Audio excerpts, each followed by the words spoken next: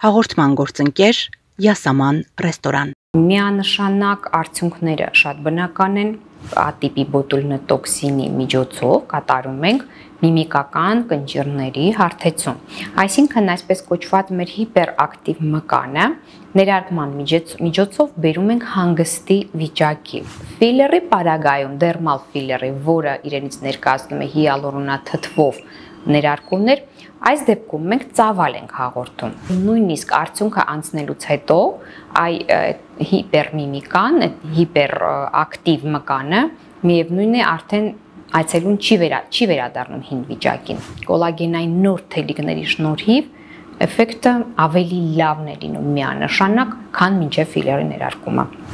Մեր սումը ֆիլերի պարագայում արվում է զուտ նրա համար, որպեսի պրեպարատը ներարկված տեղում ճիշտ տարածվի, այսինքն միգրենի դեպքում, այո, ռշակի կետերում ներարկվելու պարագայում ինքը ունի նաև բուժիչ էֆեկտ։ Միայն կանայք չէ, որ ուզում են գեղեցիկ եւ երիտասարդը երևալ, այժմ կա տենդենց նաև տղամարդկանց շրջանում դիտում եք միֆ թե իրականություն հաղորդումը բարև ձեզ պահպանել երիտասարդությունը բոլորն են ձգտում եւ փոքրիկ ստրես ապրում երբ հայտնվում են առաջին կնճիրները ոչ բոլորն են ցանկանում հաշտվել տարիքային փոփոխությունների հետ եւ այստեղ է որ մեզ օգնության է հասնում էսթետիկ բժշկությունը իմ հյուրն է բժիշկ մաշկաբան կոսմետոլոգ Լիլիթ Հարությունյանը բարի օր բարի օր շնորհակալ եմ հրավերն ընդունելու համար նույնպես շնորհակալ եմ փորձենք ընդգրկուն ինֆորմացիա տրամադրել ցրելով հնարավոր միֆերը որ արկա են համացանցում դրանք բավականին շատ են Նախ ասենք բնական ճանապարհով հնարավոր է երկարաձգել երիտասարդությունը։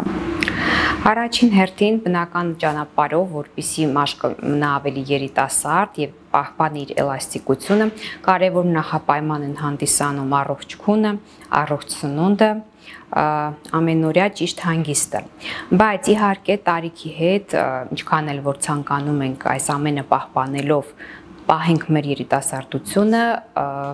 ժամանակը իրենը թելադրում է։ Եվ այս պարագայում մենք հասնում են օգնության այն գործողությունները, որոնց միջոցով մենք փորձում ենք հետաձգել տարիքը եւ հաղորդել երիտասարդ եւ գեղեցիկ տեսք։ Ուրեմն միֆ է, որ էսթետիկ բժշկությունը դա արհեստական միջամտություն է։ Սիլիկոնային դեպք տեսեք, եթե մենք գործողությունը կատարում ենք գրագետ, եթե ամեն այցելուի մենք իրեն ինդիվիդուալ մոտեցումն ենք ունենում, միանշանակ արդյունքները շատ բնական են եւ միանշանակ բոլոր այցելուները լինում են իրենց տարիքից երիտասարդ անում են ավելի եւ գոհ ուրախ հեռանում են մեզ մոտից։ Նշեմ, որ հիմնական գործողությունները, որոնցով մենք երիտասարդություն ենք հաղորդում պացիենտներին, դա կոնտուրային պլաստիկան է, այսինքն հիալուրոնաթթվով դեմքի հատվածի ներարկումները, դեմքի հատվածում ներարկումները եւ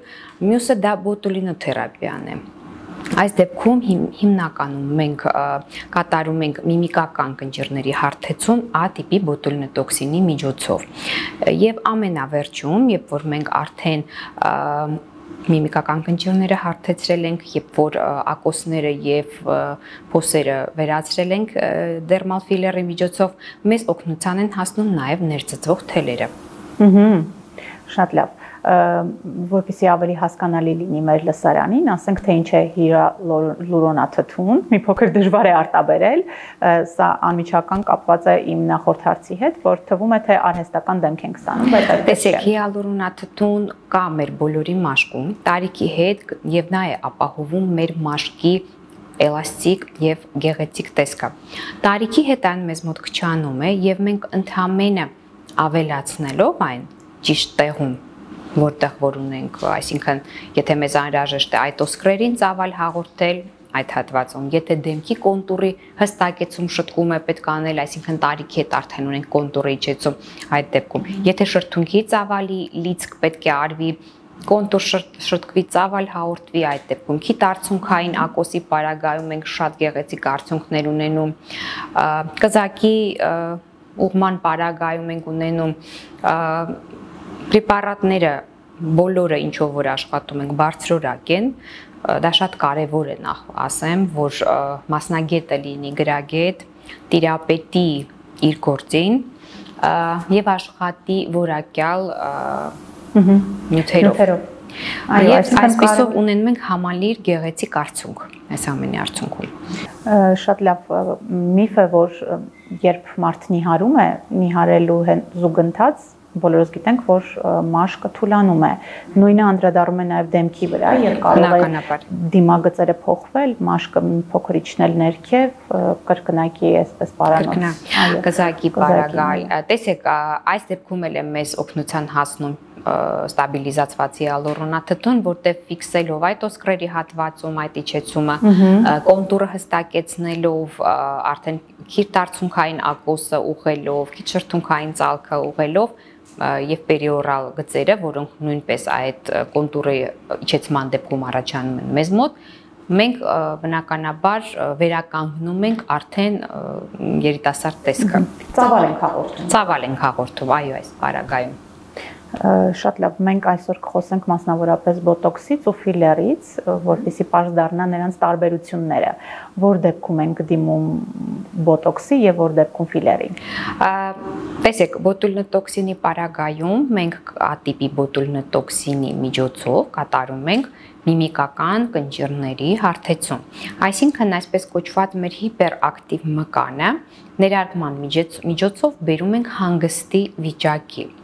Այսինքն դա մեր միջոնքի շրջանն է, ճակատային շրջանի կնճիռներն են, աչքերի շուրջ մանր կնճիռներն են, կզակի շուրջ դեկոլտեի շրջան,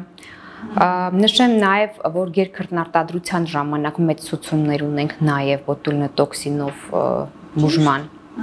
Շատ լավ արդյունքներ, այո, իսկ ֆիլերի պարագայում, դերմալ ֆիլերի, որը իրենից ներկայացնում է հիալուրոնաթթվով ներարկումներ, այս դեպքում մենք ծավալ ենք հաղորդում։ Այսինքն գելը լցվում է այն, այն հատվածում, որտեղ մենք ունենք ծավալի կորուստ, ունենք իջեցում։ Այսպես կոչված ֆիքսում ենք այդ հատվածը։ Իսկ միֆ է, որ եթե մեկ անգամ դիմեցիր նման պրոցեդուրայի հետո անընդհատ պիտի անես, որովհետև ավելի վատ տեսք կունենաս, քան մինչ այդ էր։ Միանշանակ կարող եմ ասել, որ անելուց նույնիսկ ժամանակ հետո, երբ որ արդյունքը մեզ մոտ անցնում է, օրինակ բոտուլնետոքսինի դեպքում, քանի որ մենք հանգստի վիճակի ենք բերում մկանը, այս պարագայում այցելուն ուղակի հետ է սովորում, հետ է վարժվում իր ամենօրյա ակտիվ միմիկայից։ Այսպիսով նույնիսկ արդյունքը անցնելուց հետո այ հիպերմիմիկան, հիպերակտիվ մկանը միևնույն է արդեն այցելուն չի վերա չի վերադառնում հին վիճակին։ Այսինքն հիպերմկանը քարանում է։ Այսինքն ինքը չի քարանում։ Ինչ է տեղում որ առաջվա նման նույն միմիկաները չես անում։ Մկանը ինքը ունի հիշողություն։ Երբ որ դուք ժամանակավոր իրեն հանգստի վիճակի եք բերում, կանգնեցնում եք, արդեն երբ որ բոտուլինտաքսինի էֆեկտը անցնում է նույնիսկ միևնույն է մկանը իր հիշողությամբ, իր ակտիվությանը ել չի վերադառնում, որովհետև ինքը արդեն пассивացել է, հանգստացել է։ Ինչ վերաբերվում է ֆիլերին, այնտեղ որտեղ մենք ներարկում ենք ֆիլեր, այդտեղ մեր սպիտակուցային թելիկները, կոլագենը, էլաստինը սկսում են ավելի շատ արտադրվել եւ նույնիսկ ֆիլերի ներծծումից հետո այդ հատվածում ստեղծված կոլագենային նոր թելիկների շնորհիվ էֆեկտը ավելի լավն է լինում միանշանակ, քան մինչև ֆիլերի ներարկումը։ Ինչպես հասկանալ, քեզ ֆիլերը պետք թե բոտոքս եթե դու ունես ծավալի կորուստ դեմքի շրջանում, այսինքն այդ օսկրերն են իջել, դեմքի կոնտուրն է իջել, քիչ շրթունքային ցալքի խնդիր, քիչ արցունքային ակոս ունես արդեն իջած, միանշանակ այստեղ խոսում ենք ֆիլերի մասին։ Եթե դու ունես միմիկական ակտիվ կնճիռներ, այստեղ լուծումը բոտուլինը տոքսինով ներարկումն է։ Այսինքն ֆիլերը դա գել է, ծավալ հաղորդելու համար, շրթունքի լից կատարելու համար, կոնտուր շտկելու համար շրթունքի։ Բոտելնոտոքսինը դա հեղուկ վիճակում արդեն ներարկում է, որը բերում է ուղակի տեղային մկանի ակտիվության ընկճման այդ պահին։ Այսինքն մկանը հանգստանում է ժամանակ։ Շատ լավ ես ըստեղից հասկացա, որ հնարավոր է այս երկուսի զուգակցումը միանշանակ բոլոր երիտասարդացնող պրոցեդուրաները իրենք միանշանակ իրար փոխ լրացնող են, այսինքն բոտուլինոտոքսինը հիալուրոնաթթվին, հիալուրոնաթթուն բոտուլինոտոքսինը սինխրոն մոտեցում պահանջում, որովհետև այն ինչ դու կարող ես անես բոտուլինոտոքսինով, դա չես կարող անել հիալուրոնաթթվով եւ հակառակը։ դա Եվ այս երկուսի լիարժեք կոմպլեքսը տալիս է արդեն այն արդյունքը, որը մեզ անհրաժեշտ է։ ասենք թե ինչ հակացություններ կան ու նաև որքանով է կարևոր մասնագետի ճիշտ ընտրությունը, որպեսզի մասնագետը տիրապետի դեմքի անատոմիային որովհետև գիտենք այսօր ամեն երկրորդը այս գործողությունը իրականացնում է գովազդի Այո, դեմքի անատոմիային անհրաժեշտ է տիրապետել, հակառակ դեպքում այո, ցավոք սրտի շատերն են փորձում նաև առանց ա, տիրապետելու կատարել տվյալ գործողությունները, որպիսի աշխատես գրագետ, որպիսի լիարժեք ճիշտ արդյունք ունենաս, նախ առաջինը այցելուն էլ պետք է հասկանա ում մոտ է ինքը գնում։ Կարծում եմ հիմա բավականին շատ է տեղեկատվական, հա, աշխարհը աշխատում է այնպես, որ ցանկության դեպքում դա միևնույնն է իմացվում է։ Ա, Ինչ վերաբերվում է հակացություններին, դա հղիությունն է, կերակրելն է, որոնց դեպքում մենք չենք կատարում։ Օնկոլոգիական հիվանդություններ եթե կան այդ պահին ակտիվ վիճակում, բորբոքային process-ներ ներարկման հատվածում մնացած հիմնական պարագայում գործողությունը արվում է եւ անելուց հետո մի քանի կան պահպանողական, այսինքն լողավազան չհաճախել մի քանի օր ներարկումից հետո ցուցումներ, այո, ցուցումներ մերս ման չհաճախել, այո, որ պետք է անհրաժեշտ է պահել։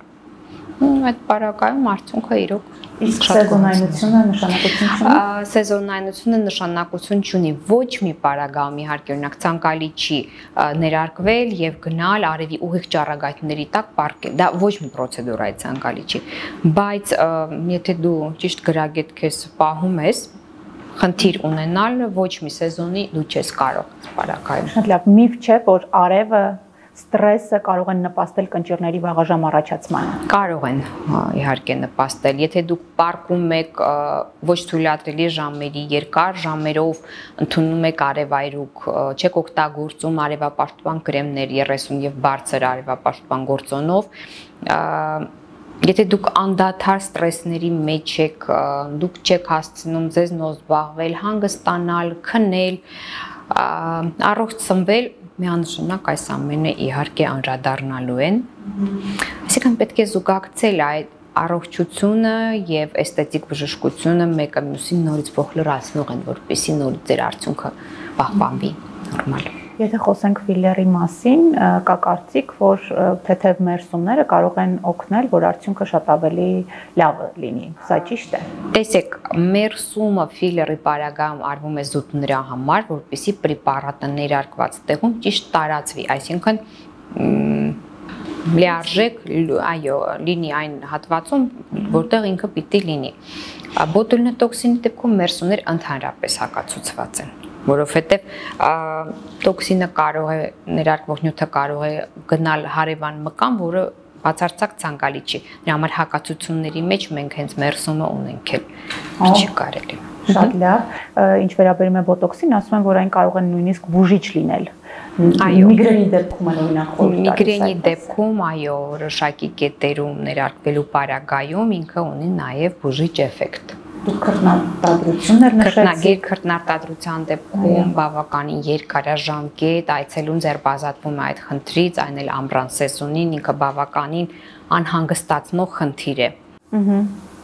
Շատ լավ եւ առաջին, երկրորդ, երրորդ քայլերը այսպես մինչեւ արդյունքի հասնելը եթե հուշենք, երբ մոտենում է մարդ ու չգիտի իրեն ինչ է հարկավոր։ Մենք ունենում ենք դեմքի մոդելավորում, որպեսզի հետագա արդյունքը իրեն տեսանելի լինի։ Անպայման պա- այցելուն մոտենալուն պես մասնագետը նայում այցելուին, ֆիքսում է ինչ խնդիրներ նա ունի եւ արդեն համապատասխան մոտեցում է առաջարկում. Բոտուլինոտոքսին, հիալուրոնաթթու, թե միքս տարբերակ այս պարագայում եւ արդեն վերջնական միասին որոշում են շատ կարեւոր է որպիսի այցելուն իր մասնագետին նաև վստահի, որովհետև շատ անգամ այցելուն մոտենում է ինքը չի էլ հասկանում ինչ է իրան անհրաժեշտ։ Չի հասկանում, բայց պիտի վստահի, որ արդյունքը լավ է։ Այո, պիտի վստահի, քանի որ չի հասկանում, բնականաբար պիտի ինչ որտեղ ճիշտ մասնագետ ընտրի։ Ճիշտ մասնագետ ընտրի եւ այդ պահին իր մասնագետը ինչ առաջարկի պիտի արվի, որպեսի տեսնելով արդյունքը արդեն մյուս անգամ ավելի վստահաբար մոտենա։ Շատ լավ։ Արվեց ֆիլեր, բոտոքս, որքան ժամանակ է պահանջվում արդյունքը արդեն տեսանելի լինելու համար։ Տեսեք, ֆիլերը պարագայում անմիջապես ներարկումից հետո այցելուն տեսնում է արդեն իսկ արդյունքը անմիջապես այսինքն այո կոնտուրը հստակեցվում է տվյալ պահին հայլին կարող է ստաս եւ այցելուն տեսնի։ Բոտուլին տոքսինի պարագայում պրեպարատը սկսում է աշխատել 3-րդ, 4-րդ օրվանից եւ մոտ 2 շաբաթ հետո մենք ունենում ենք լիարժեք արդյունք միֆ է, որ վատորակ ֆիլերի, հա, դեպքում նյութի կարող են գնդիկներ առաջանալ։ Հնարավոր են իհարկե, տեսեք, նախ պետք է ճիշտ հատվածում տվյալ հատվածում ճիշտ խտության ֆիլեր ներարկել, այսինքն այդ ֆիլերները տարբեր խտության պրեպարատներ են, դրանք չունեն մեկ խտություն։ Եթե մասնագետը աշխատում է բարձրորակ նյութերով եւ համապատասխան հատվածում կատարվում է այն խտության ֆիլերը, որը ցուցված է տվյալ հատվածի համար, նմանատիպ խնդիրներ պիտի չառաջանան։ Ասում են ֆիլերը կարող է օգնել նաև ակնեի բուժմանը։ Միֆ չէ։ Ակնեի բուժմանը post ակնեի բուժմանը շատ օգնում, այսինքն հետ ակնե շրջանում, երբ որ մենք ունենք փոսիկներ, անհարթություններ, արդեն իսկ ակնեից մնացած, հիալուրոնաթթուն այն պրեպարատն է, ну ստաբիլիզացված հիալուրոնաթթուն ավելի թույլ կոնցենտրացիայի պարագայում կամ նույն հիալուրոնաթթուն, բայց ոչ ստաբիլիզացված, ներարկում ենք այ փոսությունների տակ, սպիերի տակ, որպեսզի բարձրանան, հարթվեն, մաշկը հարթվի, վերականգնվի նորմալ տեսքը։ Հա, այո, հնարավոր է, եթե ոչ ծանր ֆիլերների մասին չի խոսքը դրանք կամ պիտի լինեն բիորիվիտալիզանտներ, այսինքն նորից հիալուրոնատ, բայց ոչ ստաբիլիզացված, կամ ցածր կոնցենտրացիայով պրեպարատներ թեթև ստաբիլիզացիայով, որոնք նորից հնարավոր է ցուցում ունեն անել պոստակնե այդ հատվածներում։ Շատ լավ, արդյունքը երկար է պահպանվում կամ կան միջոցներ, որոնք կարելի է կիրառել ավելի երկարացնելու համար։ Տեսեք, կախված է նրանից, թե ինչ հատվածում է կատարվել գործողությունը։ Եթե մենք գործ ունենք ստատիկ հատվածների հետ, օրինակ դարձունքային ակոս, դեմքի կոնտուր, այդ օսկր, այո, բավականին երկար 1 տարի, 1 1 տարուց ավել պահպանվում է։ Եթե դինամիկ հատված, շրթունք, քիչ շրթունքային ծառ, պերիորալ, այստեղ ավելի մի փոքր ֆիլերը շուտ կարող է էֆեկտը անցնել, թուլանալ, որտեղ դինամիկ հատվածը բնականաբար ավելի շարժումն է այդ պարագայում։ Եվ ինձ հետաքրքրում է տղամարդիկ դիմում են Դիմում են պատկերացրեք, այո, դիմում են, միայն կանայք չէ, որ ուզում են գեղեցիկ եւ երիտասարդը երևալ, այժմ կա տենդենց նաեւ տղամարդկան շրջանում, նրանք նույնպես փորձում են աշխատում են Երևանի գեղեցիկ երիտասարդ, որը կարծում եմ շատ գնահատելի է։ Իհարկե։ Շնորհակալ եմ զրույցի համար։ Իսկ ես հիշեցնեմ, որ դուք դիտում եք միֆ թե իրականություն հաղորդումը, պահպանեք ձեր երիտասարդությունը, իսկ եթե չի ստացվում, դիմեք էսթետիկ բժշկությանը առանց վախենալու։ Մենք այսօր ծրեցինք հնարավոր միֆերը բժիշկ, մաշկաբան, կոսմետոլոգ Լիլիթ Հարությունյանի հետ։ Կհանդիպենք։